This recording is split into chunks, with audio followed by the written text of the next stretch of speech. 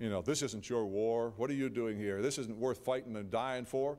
Uh, remember your girlfriend back home or your wife? Wouldn't you rather be back with her and just what? And, and did you hear about the great victory? Did you hear about the prisoner who just renounced the United States or a thousand and one? That happened in Korea. But uh, you, you, think about a, a, thousand and one things, whatever they could come up with, that they would just try to plant seeds of doubt and to undermine the resolve of the American soldiers. But of course, we do the same things, don't we? You know, they'll drop leaflets, they'll do a thousand and one things to try to, to convince people to just give up and not fight because that's the battle. I mean, you know, we know what to do most of the time, don't we? Is that usually the problem? You know, we know from the Word what we're supposed to do and how we're supposed to live and serve God, but the problem is we get defeated here before we fight. And so we're just, you know, we're, we're sort of you know, waving our sword a little bit, but it's, it's rather feeble, and we have the sense on the inside, uh, this is not worth it. I can't, you know, I, am going to lose. I might as well give in sooner or later. Let's just put a good show on for a while, but, you know, I know, I, I know the battle's going to lose. I've always lost, you know. Anybody going through that a little bit in your life? You know, we are, as we've said so many times, we're told to expect warfare in our life. We're told to expect difficulty. In fact, Paul was writing to Timothy and he said, Endure hardness as a good soldier of Jesus Christ. I've had that word come to me many times recently, and I wonder, my God, am I ever, you know, is this ever going to get any easier? And just, Lord, you know, I'm so, I'm so tired, I'm so this, I'm so that. What's going on here? Is it just, isn't there a place where we can kind of get beyond all that? And, uh, I, you know, in a sense, there is, but the problem is that when we allow those things to begin to affect us, that's when the battle gets really hard to fight, and that's when we tend to fall in the mud and lose. But I'll tell you, God wants to give us a, a courage this morning and a, and a sense and, and, and put a, you know, change our thinking, change our whole way of looking at things. Now, you know, uh, this is a principle that's well understood in the world. Uh, we're created in the image of God, and and I, you know, I believe even natural men will talk about, you know, having courage and standing fast and not giving up and that sort of thing.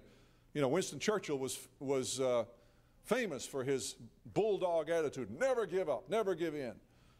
And you can go and hear a lot of uh, motivational speakers, and they'll hammer on this theme. You know, never give up. Always, you know, and they'll give you, they'll try to inspire you with examples of people who are facing over insurmountable odds and they they rose up and they just gave it all they had, and suddenly they broke through and they were victorious, and now they're rich and wealthy and all that stuff. And uh, you know, you can go a lot of places today, and that's how this concept will get applied. To, it's to natural things, it's to earthly goals. It's, uh, you know, follow your dreams and don't give up kind of thing, as though God's, design, God's aim in life is to fulfill our dreams. If only we will adopt the principles you find in this book. Well, uh, I think you know better than that, don't you? That that's not what it's about. Uh, God isn't here to fulfill our dreams, He has His own. He has a plan that's so much better than we could ever devise for ourselves. And you know, start, the start of the battle many times is just surrendering to that fact and coming to God with the attitude, Lord, I lay my dreams at your feet. Lord, lead me in the path of your choosing. For me, I want your path. That's the only one in which I can succeed. I understand, Lord, that there will be enemies.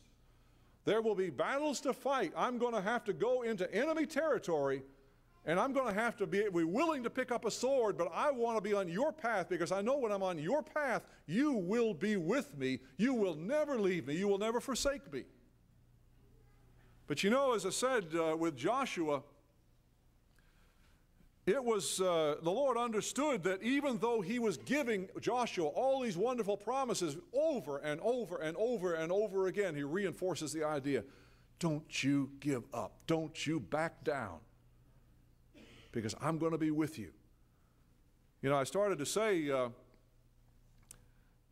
you have the motivational speakers, but what are they really appealing to? I mean, they're appealing to human desires, I know, but in terms of the resources by which we draw courage, where, do, you know, where does that come from? It comes from us. That's exactly right. And so, what that does is basically make a, make a, a difference between people because there are people who, like, uh, like Churchill, have a natural bulldog attitude. They're gonna, they have a can do spirit. They're going to be able to do any, everything that you put in front of them. They're, not, they're never going to give up. They're stubborn. And you got other people that just, you know, they, they look like targets. well, the deer in headlights, you know, that's how they look at life. It's just, I, I'm, I, there's nothing I can, it doesn't matter what I do, I'm going to lose.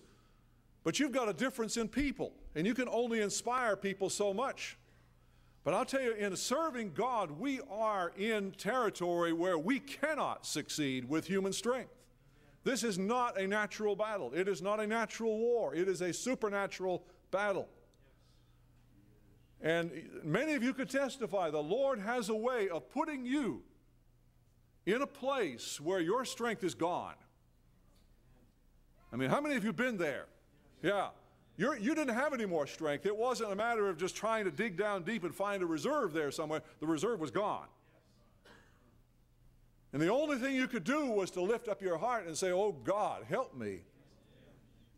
Did he? Yes, he did. See, that's, that's part of, that, that is so integral to serving God.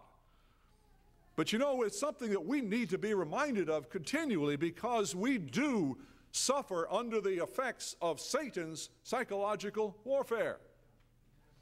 And it makes all the difference. Look at the battle that Joshua was called to fight.